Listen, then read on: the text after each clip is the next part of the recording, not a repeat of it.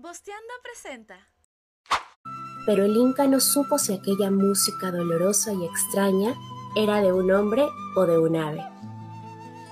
Ahora lo sentía algo más clara, aunque imprecisa, y aguzaba sus oídos para percibirla mejor.